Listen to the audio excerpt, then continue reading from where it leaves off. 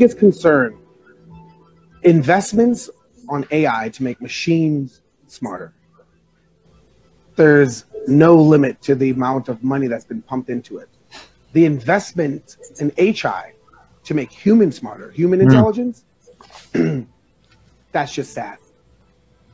It's sad that we're going to live in a world right around the corner where machines will be more articulate, analytical, critical thinking, banter ability, um, contextual, deep understanding, while we have resorted to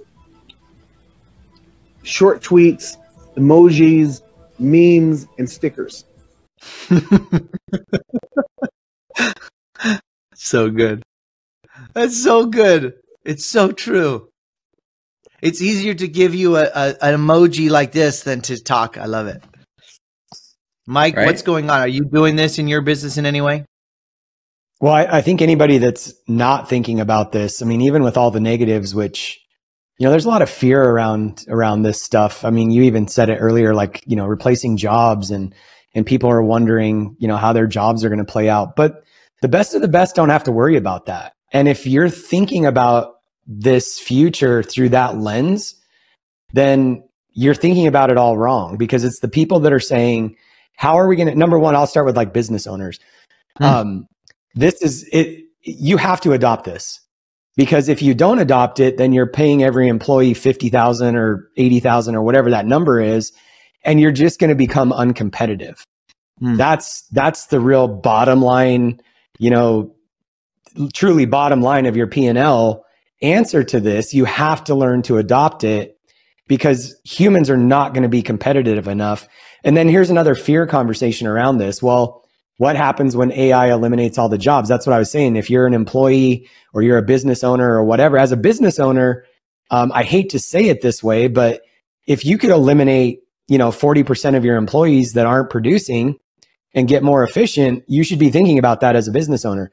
As an employee, you should be thinking about AI is going to make me a better employee. Because if I can focus on, like this AI that I'm talking about is just setting calls. So as an employee, you know, if you're in sales, you should be looking at AI. If your company isn't, you should be looking at it because if you can get more, if you can get more phone calls set by AI, that makes you a better employee. So we're looking at this all wrong.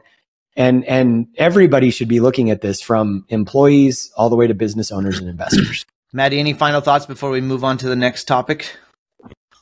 No, I mean, uh, I it just kind of solidifies what Mike is saying. I think the people who are are leaning in and using it as a tool versus looking at it as a threat, as an op, you know, and and how much of an opportunity this can be. Every single one of my employees is required to use Chat GPT every day. Um, I mean, from email and copy and marketing to building out backend funnels and automations to you know getting certain checklists and meeting agendas and systems documented. I mean it's unbelievable how much it's honestly transformed our team. Um, i was just on my accountability call this morning with um, with my group and uh, one of the guys just got back from necker island and he is not a you know super super AI guy um, and kind of an early adopter. He said there was a guy there that was an insurance broker, and his company was doing I think you know more I think it was like four or five million dollars a year in in sales.